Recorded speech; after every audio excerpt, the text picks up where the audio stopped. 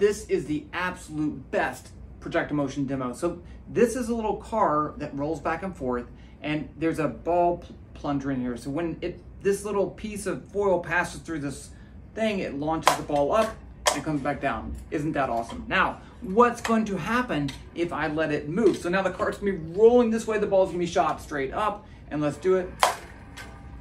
Land it back in the cart. Isn't that cool? One more time. I don't know if you can even see that.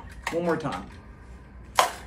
And I did it slow so you could see, but what's happening here, the idea is that even though the cart's moving horizontally with some constant velocity, once the ball gets in the air, it also has that same velocity and there's no forces pushing it backwards or forwards to change its velocity in that direction. So the whole time it's in the air, it stays right under, right over the cart. And when it gets back there, it lands. It's pretty cool. Now, question.